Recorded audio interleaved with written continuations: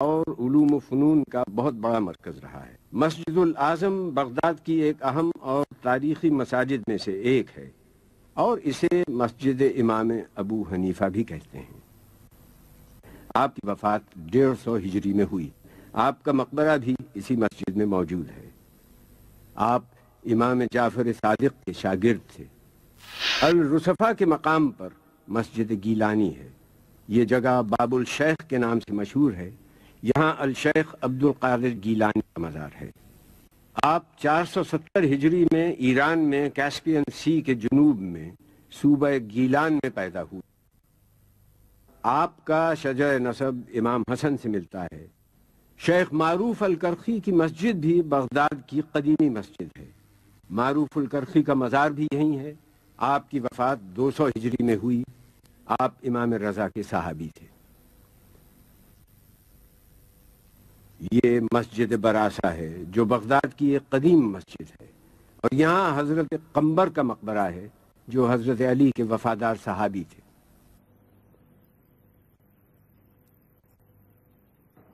अल काजमिया Iraq का कदीम तरीन इलाका है।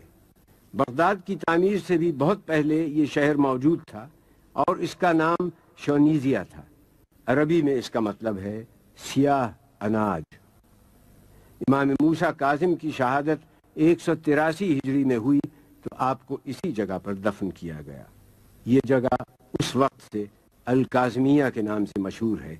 इसका मतलब है, ऐसा आदमी जिसे अपने गुस्से पर काबू हासिल हो। इमाम मोहम्मद तकी जवाद ने 219 हिजरी में वफात पाई। इनकी तदफीन भी इसी मकाम पर हुई। इन रोज़ों के अतराफ में एक शहर आबाद हो गया। इस जगह को अल काजिमैन और अल जवादैन कहा जाता है। सैन में दाखिल होते ही इन मकाम का तकदस ज़ायरीन को ऐसे हैजान और फ़र्त अकीदत से दो चार करता है, जिसे अल्फाज में बयान करना मुश्किल है। सोने और चांदी की मुनक्श टाइलों पर कुरानी आयात कंदा हैं। इमाम मूसब ने जाफ़र को इमामुल काजिम भी कहा जाता है। आपके जद रसूल खुदा थे। इमाम मूसा काजिम, इमाम जाफ़र सादिक के साहिबजादे हैं और इमाम जैनुल आबिदीन के पोते हैं। आज हमारे सामने इस हरम मुतहर की जो शक्ल है, वो शाह इस्माइल सफदी ने तामीर की। दोनों गुंबद सोने के हैं और चार मीनार बड़े और चार छोटे हैं। ये इस्लामी फन तामीर का हैरत अंगेज शाहकार है।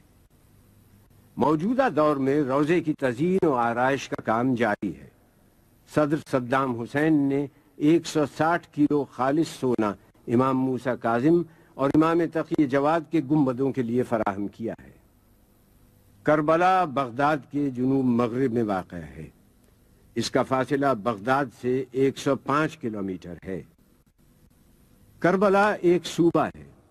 इसके नज़दीक चार सूबे और हैं, बगदाद, बाबल, नजफ और कूफा। करबला के अतराफ बागात हैं और इन बागात को सैराब करने के लिए एक नहर मौजूद है, जिसे नहरुल हुसैनिया कहा जाता है। करबला दरियाए फरात के मगरबी किनारे पर वाक़ है। ये इराक के कदीम शहरों में से एक है। इस सरजमीन की तारीख बाबुल के ज़माने से मौजूद है। ज़माना कदीम में इसका नाम कुर्बुल एलिया था। इसको कोरे बाबल के नाम से भी जाना जाता था। इस आबादी के छोटे छोटे देहात थे। इस मजमुई आबादी का नाम कुर्र बाबलिया था। इसमें मौजूद कस्बों के नाम नैनवा, अलगाजरिया, शक्तुलफुरात, अमारा और मारिया थे। और बाद में इसका नाम करबला हुआ और इसे अलकरब बला भी कहा जाता था। करबला का वजूद कबल इस्लाम और ज़माना कदीम से मौजूद था। यहाँ पर अलसामियून की कौम आबाद थी। करबला को आज दुनिया में जो इज़्ज़त व शर्फ हासिल है उसकी बुनियादी वजह जिगर गोशा बतूल नवास रसूल और इनके अहल बैत और असहाब की शहादत है जो दस मुहर्रम इकसठ हिजरी में इस मकाम पर वाक़ हुई वो कौन से अवामिल थे कि इमाम हुसैन मदीने से निकलने पर मजबूर हुए इमाम हुसैन का मदीने से निकलना न तो खुद गर्जी पर मबनी था और न शर फसाद पर। वो सिर्फ़ इसलिए निकले कि उम्मत रसूल में जो खराबियाँ पैदा की जा रही थीं, उनकी इसलाह हो और सीरत रसूल बरहक को ज़िंदा करें। मदीने से मक्के का सफ़र ढाई सौ मील है। आपने तीन शाबान बरोज जुमेरात सफ़र का आगाज़ किया और पाँच दिन में ये मसाफत तय की। मदीने से रवानगी के वक्त आप अपने नाना और अपनी वालदा गिरामी के मज़ार से रुखसत हुए। आप जानते थे कि अब मदीना वापस नहीं आएँगे। आप मदीने से मक्के तशीफ लाए, हज को उम्रे में तब्दील किया। आप नहीं चाहते थे कि हुरमत काबा मजरूह हो। आठ जिल हज मंगल के दिन आप मक्के से रवाना हुए। रास्ते में सफ़ा तकीम ज़ात इराक, हाजिर और ज़रूद की मनाजिल तय करते हुए जब मकाम सालबिया पहुँचे तो आपको अपने भाई मुस्लिम इबन अकील और हानी इबन उर्वा की शहादत की खबर मिली। ये हुसैन की पहली कुर्बानी थी, जो राय खुदा में उन्होंने पेश की। रस्ते में सुनी जब खबर मुस्लिम हानी। मुँह ढाप के रोया असदुल्लाह का जानी। सदमे से मुसाफिर को लूहू हो गया पानी। फरमाते थे, अफसोस, बिरादर की जवानी, आज उन पे जो गुजरी, वो हमारे लिए कल है। मुस्लिम की शहादत हमें पैगाम अजल है। इसके बाद मंजिल जबाला बतन अकीक से होते हुए, जब सरात की मंजिल पर पहुँचे तो आपने मुहर्रम का चाँद देखा। जू हस्म की मंजिल पर हुर का लश्कर आपके रास्ते में मजाहिम हुआ। हुर ने आपके काफिले को आगे जाने से रोका। आपने कहा, हम गाजरिया या शफिया की बस्ती में उतर जाते हैं। हुर न माना। इमाम कुछ आगे बढ़े तो एक सरजमीन आई। आपने वहाँ के लोगों से दरियाफ्त किया कि इस जगह का क्या नाम है। लोगों ने बतलाया, करबला। आप घोड़े से उतर गए। फरमाया, यही हमारी मंजिल है। खैमे नस्ब कर दिए गए। एक जानब अहले बैत के खैमे थे। जनाब कासिम इबन हसन, जनाब अबुल फजल अब्बास, जनाब अली अकबर और इमाम जैनुल आबिदीन के खैमे भी यहीं नस्ब किए गए। यहीं एक जगह नमाज़ के लिए वक्फ थी, जिसे महराब हुसैन कहा जाता है। दरियाए फरात रिजवानिया के मकाम से निकलता है। इसकी एक नहर मुसैब से होती हिंदिया के मकाम से गुजरती, हिल्ला के करीब से होती हुई अलकफल के मकाम तक चली जाती है। माजी में जिस वक्त वाक़ करबला पेश आया, उस वक्त रिजवानिया से एक नहर निकलती थी, जो सद्दुल हिंद तक दरिया से अलग बहती थी। यही वो नहर है, जिसके करीब वाक़ करबला पेश आया। आज इस नहर का वजूद करबला में नहीं है, लेकिन एक नहर का वजूद है जो रोज़ हुसैनी से काफ़ी फासले पर वाक़ है। और इसे नहर हुसैनी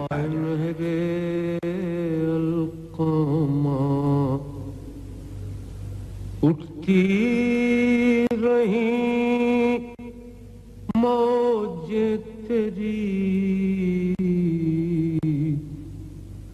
ए नहरे एक मश्क पानी के लिए। अब्बास के शान कटे। नदी लहू की बह गई।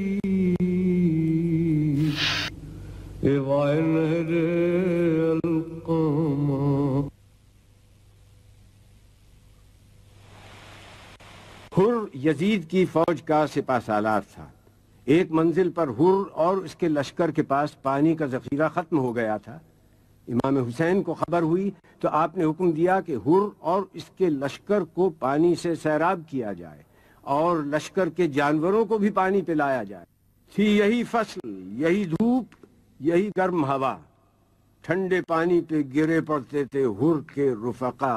तिश्ना कामों का ये मजमा था कि मिलती न थी जा। सक्के भर भर के कटोरों को ये देते थे सदा। भाइयों, आओ, जो पानी की तलबगारी है, चश्मे फैज हुसैन इब्न अली जारी है। ये हुसैन का वो हुस्न सलूक और अखलाक था, जिसने हुर की ज़िंदगी को मुनकलब कर दिया। हुर नादिम व शर्मसार अपनी गर्दन झुकाए और अपने हाथ पुष्ट से बांधे हुए हुसैन के खैमे की तरफ़ चला। हुसैन को खबर हुई हुर ने देखा कि चले आते हैं पैदल शब्बीर। दौड़कर चूम लिए पाए शहे अर्श शरीर ने छाती से लगाकर कहा, ए बातौकीर मैंने बख्शी, मेरे अल्लाह ने बख्शी तकसीर। मैं रजामंद हूँ, किस वास्ते मुस्तर है तू? मुझको अब्बास दिलावर के बराबर है तू। हुर ने जनाब हुसैन से दरखास्त की कि वो, है ए बादशाह अर्श नशीन, लीजिए तन से निकलती है मेरी जान हसीन, बात भी अब तो जबान से नहीं की जाती है। कुछ उड़ा दीजिए मौला, मुझे नींद आती है। मुसैब एक छोटा सा कस्बा है, करबला से तकरीबन 40 किलोमीटर के फासले पर है। हज़रत मुस्लिम इब्न अकील के साहिबजादों सैयद मोहम्मद और सैयद इब्राहिम के मज़ारात हैं। हज़रत मुस्लिम बिन अकील सफ़ीर इमाम हुसैन थे। आप इमाम हुसैन का ख़त कूफियों के नाम लाए थे। ये साहिबजादे इस सफ़र में आपके साथ थे। मुस्लिम की शहादत के बाद ये बच्चे कैद कर दिए गए और बाद में इन्हें शहीद कर दिया गया।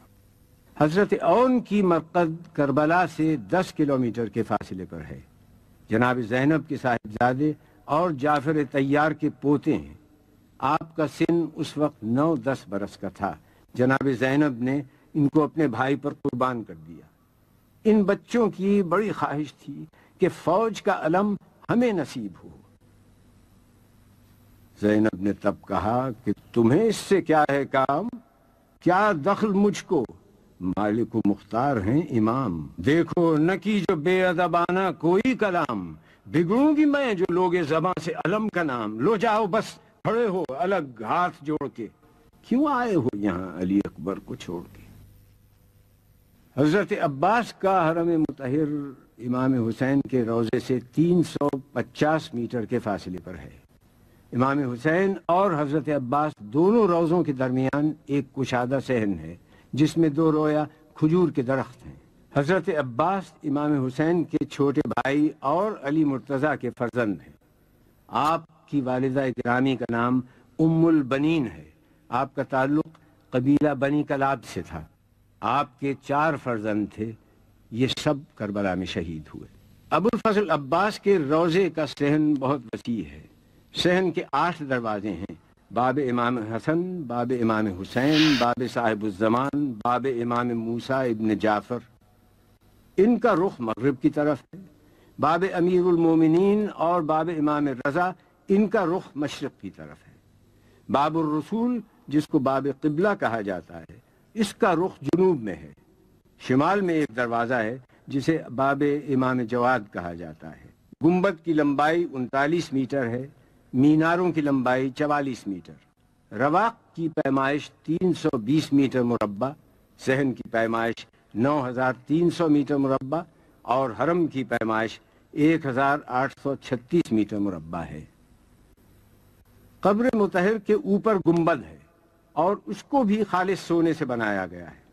गुंबद के अंदर मीनाकारी की गई है। सोने से आयात कुरान कंदा की गई है। ये गुंबद भी इस्लामी फन तामीर का शाहकार है। सहन के चारों तरफ़ की दीवारों पर काशीकारी और नक्शकारी की गई है, जो इस फन का एक नादिर नमूना है। हज़रत अब्बास की विलादत चार शाबान को हुई। आप दुनिया में तशरीफ़ लाए आपने आँखें नहीं खोली थीं कि अली ने कहा, हुसैन को बुलाओ। हुसैन के हाथों में अब्बास को दिया और आँखें खोली। हुसैन ने अपने बाबा से सवाल किया कि आपने मेरे भाई का क्या नाम रखा? कहा, अब्बास। अब्बास के मानी हैं बिफरा हुआ शेर। आपको कमर बनी हाशिम और बाबुल हवाइज भी कहा जाता है। आपकी तरबियत दामान अली और दामान हसन हुसैन में हुई। आपका अखलाक, फजल, अदब, इल्म, शजात बेमिसाल था। आपने इमाम हुसैन को बड़ा भाई नहीं, आका समझा। इमाम हुसैन ने भी आपसे हर मरहले पर सलाह मशवरा किया। इमाम हुसैन को जब भी कोई मुश्किल होती, हज़रत अब्बास बढ़कर भाई का साथ देते। साठ हिजरी में इमाम हुसैन ने मदीने से सफ़र का आगाज़ किया। हज़रत अब्बास को सामान सफ़र तैयार करने का हुक्म दिया। आपने हुक्म की तामील की।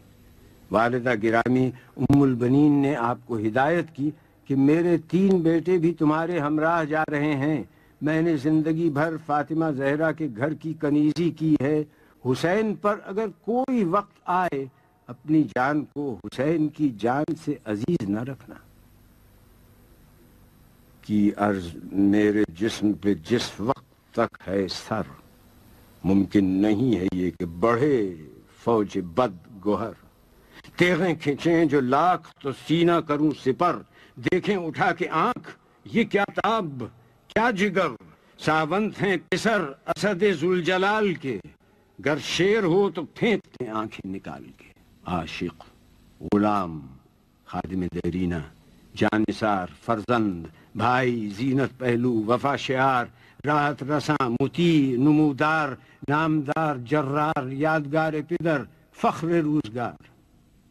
ये तमाम सिफात आप में वक्त वाहिद में मौजूद थी। करबला में खानदान रसालत का हर फर्द नुमाइंदगी कर रहा था। हसन की नुमाइंदगी कासिम कर रहे थे। हुसैन नाना की नियाबत कर रहे थे। हुसैन की नियाबत अली अकबर कर रहे थे। अब्बास अली मुर्तजा की नियाबत कर रहे थे।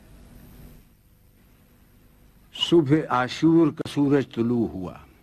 सवाल ये था कि हुसैन की छोटी सी फौज का अलम किसे नसीब हो हुसैन ने जनाब जैनब से मशवरा किया कि बहन, ये अलम का उर्दा सुपुर्द करने का वक्त है। तुम्हारा क्या मशवरा है? बोली बहन कि आप भी तो लें किसी का नाम। है किस तरफ़ तवज्जो सरदार खास आम कुरान के बाद है तो बस आपका कलाम। गर मुझसे पूछते हैं शहे आसमा मकाम, शौकत में, कद में, शान में हम सर कोई नहीं, अब्बास नामदार से बेहतर कोई नहीं। हुसैन ने अली अकबर से कहा कि चचा को बुलाओ और कहो कि फुफी ने याद किया है। अब्बास आए, हाथों को जोड़े। हम लिए बजा बोले निशान को लेके शहे अरश बारगाह। इनकी खुशी है जो रजा पंचतन की है। लो भाई, लो अलम, ये इनायत बहन की है। अब्बास फौज हुसैनी के अलम बरदार हो गए। अलम हर तरह से अब्बास का है। नजफ की समत देखकर कहा, आज आले रसूल पर फौज यजीद ने पानी बंद कर दिया। अब्बास मुस्कुरा के पुकारे कि आओ आओ, अम्मू निसार प्यास से क्या हाल है, बताओ। बोली लिपट के वो कि मेरी मश्क लेते जाओ। अब तो अलम मिला तुम्हें, पानी मुझे पिलाओ। तोहफा न कोई दीजिए, न इनाम दीजिए, कुर्बान जाऊँ, पानी का एक जाम दीजिए। हज़रत अब्बास मैदान में गए, जंग की तराई तक गए, मश्क सकीना को भरा खैमा गाय हुसैनी की तरफ़ पलट रहे थे कि दुश्मनों ने आपका एक शाना जुदा किया। मश्क को दूसरे हाथ से थामा। आपका दूसरा बाजू भी जुदा हुआ। मश्क की सकीना बह गई। चेहरे तमाम गर्द गरीबी से अट गए। दो हाथ क्या कटे सभी हाथ कट गए।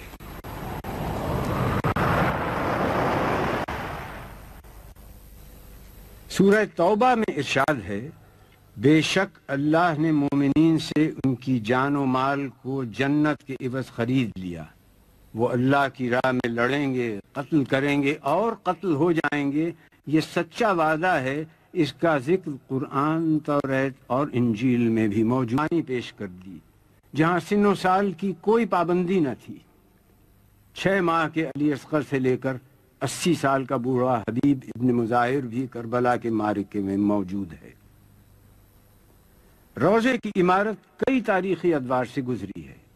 जमाने के साथ इसमें कई और इसकी तजीन और आरइश वक्त के मुताबिक भी होती रही। आज मौजूदा सूरत में ये रोज़ा बेमिसाल है और इस मुकदस सरजमीन पर दुनिया जहाँ से हर साल लाखों की तादाद में लोग यहाँ आते हैं। और नवासा रसूल, जिगर गोशा बतूल की जियारत से फैज याब होते हैं। तिल जैनबिया, ये वो मकाम बुलंद है, जहाँ जनाब जैनब ने अपने भाई को जंग करते देखा था। जनाब जैनब जब असीर होकर करबला से कूफे की तरफ़ रवाना होने लगी तो आपने ख़ानदान रसालत के सब्र इस्तकामत की तारीख को आगे बढ़ाने का आज़म किया। एक मौके पर आपने अपने भतीजे हुसैन इबन अली के फर्जंद सैयद सज्जाद को मुखातिब करके कहा ए फर्जंद, क्यों दिल गिरफ्ता होते हो? मेरी नज़रें उस आने वाले वक्त को देख रही हैं, जब तुम्हारे बाबा की कब्र का निशान यहाँ होगा।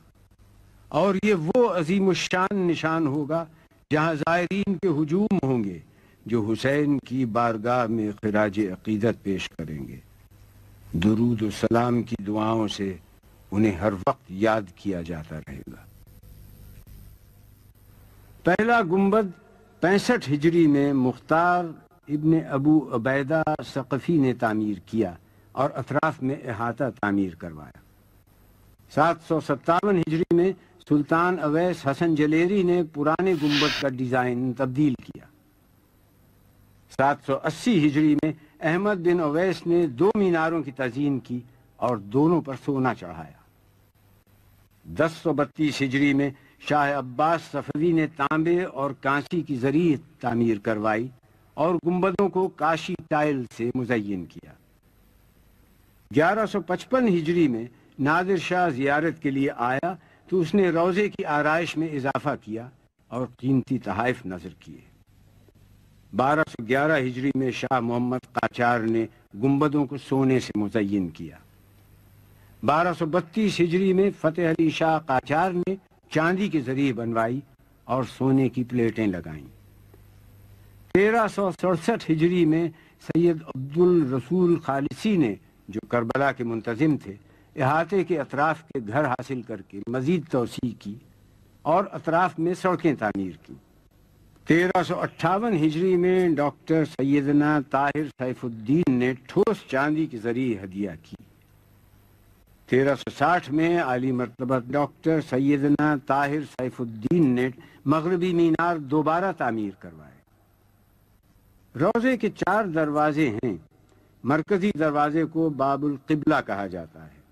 एक का रुख जुनूब की तरफ़, एक का रुख मगरब की तरफ़ और दो दरवाजों का रुख शिमाल की तरफ़ है। ये दरवाजे कीमती लकड़ी से बनाए गए हैं। हरम का मरकजी दरवाज़ा सोने का है। सहन का रकबा पंद्रह हज़ार मीटर मुरबा है। दीवारों पर इस्लामी नक्काशी की गई है, जो आँखों को खीरा कर देती है। ज़रिए मुबारक में बाएँ जानब छह माह के शीर खार अब्दुल्ला बिन हुसैन आराम फरमा रहे हैं, जिन्हें अली असगर और बाबुल हवाइज भी कहा जाता है। दाएँ जानब अली अकबर आराम कर रहे हैं। आपकी उम्र 18 बरस थी। आपकी वालदा उम्म लैला थी। आप शबी रसूल थे और खान खानवाजा रसालत के पहले शहीद। दाई जानब शहदाय करबला दफन है। हुसैन जब मदीने से रवाना हुए तो आपके साथ एक बड़ी तादाद थी। मगर रोज़ आशूर इस जमात में सिर्फ़ बहत्तर अफराद बाकी रह गए थे। आपके असहाब ने सब्र इस्तकामत का वो मुजाहरा किया कि हुसैन ने कहा कि मुझे वो असहाब मिले जो मेरे बाबा अली मुर्तज़ा को भी न मिल सके। हज़रत अब्बास, हबीब इब्न मुजाहिर, हुर और जनाब ओन के अलावा तमाम शहदाय करबला इसी मकाम पर दफन हैं। इसीलिए इस जगह को गंज शहीदा कहा जाता है। अपने असहाब से खिताब करते हुए फरमाया, जो सूरत हाल पेश आई है, वो तुम देख रहे हो। यकीनन दुनिया का रंग बदल गया है और उसकी नेकी रुखसत हो चुकी है। उसमें कुछ बाकी नहीं रह गया है। सिवाय उस थोड़ी सी तरीके जो पानी बह जाने के बाद किसी बर्तन में बाकी रह जाती है। और एक पस्त ज़िंदगी जो जहरीली घास की मानंद है। क्या तुम नहीं देखते कि हक पर अमल नहीं होता? बातिल से अलहदगी इख्तियार नहीं की जाती। इस सूरत में मोमिन यकीनन खुदा की मुलाकात का आरजूमंद होता है। मेरे नज़दीक तो मौत में शहादत की नेमत है। इन जालिमों के दरमियान ज़िंदा रहना वबाल जान है। रोज़ा इमाम हुसैन में बाएँ जानब हबीब इब्न मुजाहिर असदी की ज़रिए मुबारक है। आप, सहाबी रसूल, हज़रत अली के दोस्त और कबीला बनी असद के सरदार थे। करबला में शहीद हुए और बनी असद के लोगों ने आपको दफन किया। रवाक में हज़रत इब्राहिम मुजाब की ज़रिए है। आप इमाम मूसा काजिम के पोते हैं और वाक़ करबला के बाद आपको यहाँ दफन किया गया। ये मकाम शहादत है। इमाम हुसैन ने सजदा आखिर अदा किया। आगाज़ हयात इंसान का पहला झगड़ा सजदे पर हुआ। सन इकसठ हिजरी दस मुहर्रम असर आशूर इमाम हुसैन ने वो सजदा किया कि रहती दुनिया तक बातिल का सर झुका दिया और हक को सर बुलंद कर दिया।